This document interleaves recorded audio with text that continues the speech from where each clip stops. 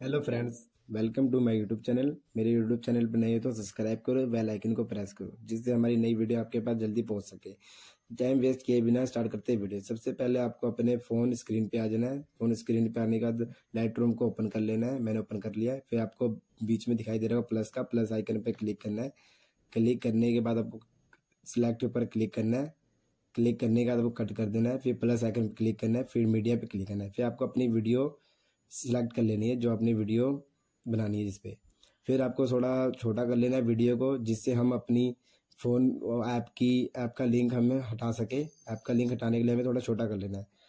और सिलेक्ट कर, छोटा करने के बाद हमें इफ़ेक्ट पर क्लिक करना है, फिर डायरेक्ट इफ़ेक्ट पर क्लिक करना है, फिर बाद सर्च करना है फोल्डर फोल्डर इफेक्ट्स मैंने फोल्डर इफ़ेक्ट सर्च कर रखा है फिर मैंने फोल्डर इफ़ेक्ट को सिलेक्ट कर लिया। सिलेक्ट करने के बाद जैसे मैं सेटिंग करूँगा सेम सेटिंग आपको करनी है।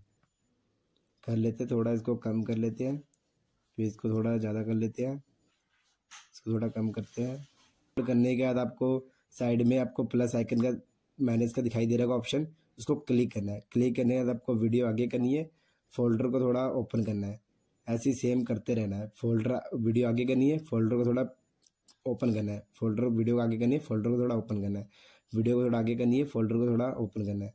वीडियो आगे करना है, फोल्डर को थोड़ा ओपन करना है। ऐसे सेम आपको करते रहना है।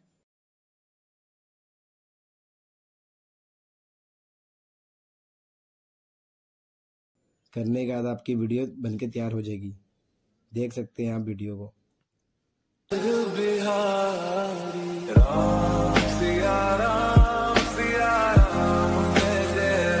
से ऊपर सेटिंग दिखाई दे रही है ऑप्शन उस पर क्लिक करना है, उसके साइड में क्लिक करना है, आपको एक्सपोर्ट कर देना है। एक्सपोर्ट करने के बाद आपको बैक आ जाना है बैक आने के बाद आपको अपने वी एन ऐप ओपन करना है।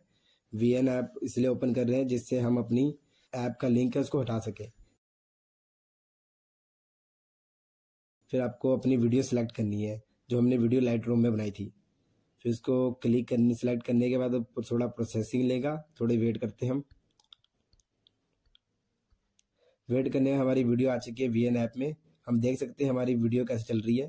तो थोड़ा जूमिंग कर लेना है। जूमिंग से हमारा जो वीडियो का लिंक है वो हट गया है। हटने के बाद हमें इमेज सेलेक्ट कर लेना है टिकटॉक का। फिर सबसे लास्ट में जाना है। फिर ब्लैक इफेक्ट्स को हटा देना है। हटाने के बाद हम अपनी वीडियो देख सकते हैं।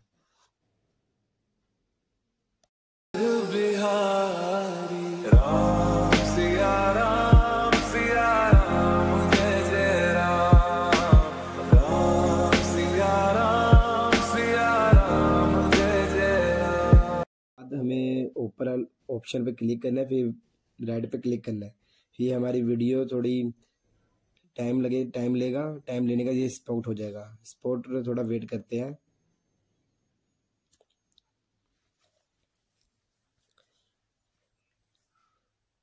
हमारी वेट करने के बाद ये सेव पे क्लिक कर देना है।